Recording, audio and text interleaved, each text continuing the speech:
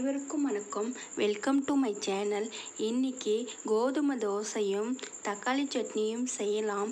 எப்படி செய்யறதுன்னு பார்க்கலாம். அதற்கு தேவையான பொருட்கள் கோதுமை மாவு ரெண்டு கப்பு எடுத்து வச்சுருக்கேன். உப்பு போட்டு தண்ணியில் நல்லா கரைச்சிக்கலாம். தக்காளி சட்னி செய்கிறதுக்கு தக்காளி ரெண்டு கட் பண்ணி வச்சுருக்கேன். வெங்காயம் ரெண்டு கட் பண்ணி வச்சுருக்கேன். வரமிளகா பூண்டு ரெண்டு புளி. கடுகு வெள்ளை உளுத்தம் பருப்பு கடலைப்பருப்பு வெந்தயம் கொத்தமல்லி விதை சீரகம். தேவையான அளவு ஆயில். தேவையான அளவு உப்பு. இப்போது எப்படி செய்யுதுன்னு பார்க்கலாம். கோதுமை மாவை கரைச்சி வச்சுக்கலாம். கொஞ்சமாக உப்பு சேர்த்திடுறேன். நல்லா கலந்து விட்டுடலாம்.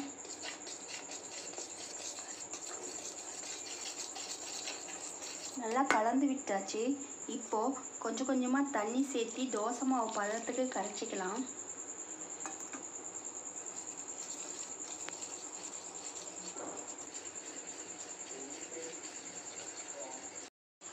மாவு கட்டி இல்லாமல் நல்லா கரைச்சாச்சு. இப்போது ஒரு ரெண்டு நிமிஷம் மூடி வச்சிடலாம். இந்த இந்த பதத்துக்கு இருக்கணும் மாவு. ரெண்டு நிமிஷம் மூடி வச்சிடலாம். அதுக்குள்ளே சட்னி தயார் பண்ணிக்கலாம். கடாயில் கொஞ்சமாக ஆயில் சேர்த்திடுறேன்.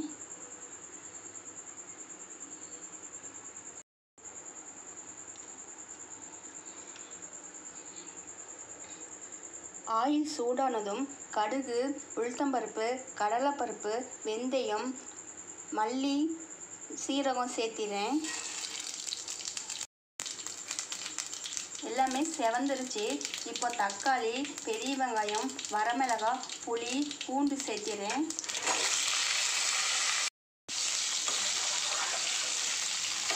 கொஞ்சமாக உப்பு சேர்த்திடுறேன்.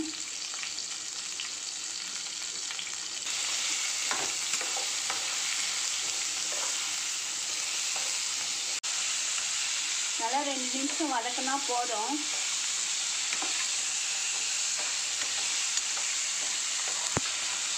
ஸ்டவ் ஆஃப் பண்ணிக்கலாம். கொஞ்ச நேரம் ஆற வச்சு சட்னி அரைச்சிக்கலாம். தக்காளி வெங்காயம்லாம் எல்லாம் வதக்கி வச்சுருக்கிறதெல்லாம் ஆறிடுச்சு. இப்போது மிக்ஸி ஜாரில் போட்டு அரைச்சிக்கலாம்.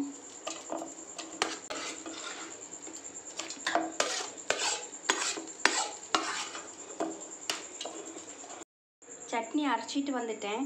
இப்போ ஒரு கப்பில் சேர்த்திடலாம்.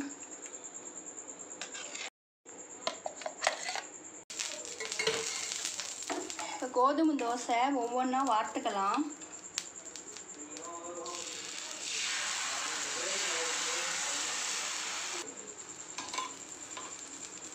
எண்ணெய் சேர்த்திடலாம்.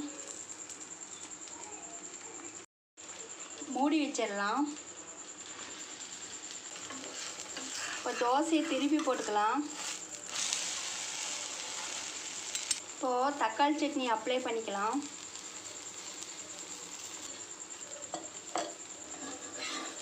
மடக்கி விட்டு ஒரு பிளேட்டில் எடுத்துக்கலாம்.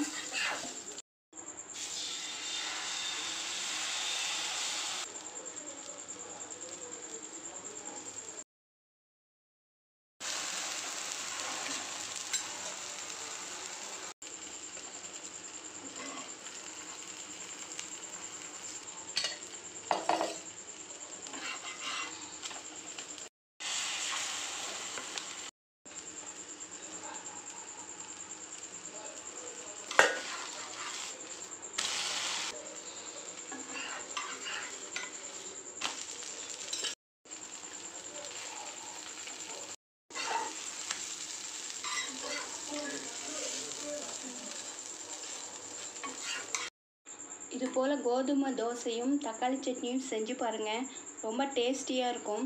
செஞ்சு பார்த்துட்டு உங்களோட ஃபீட்பேக்கை சொல்லுங்கள் தேங்க்யூ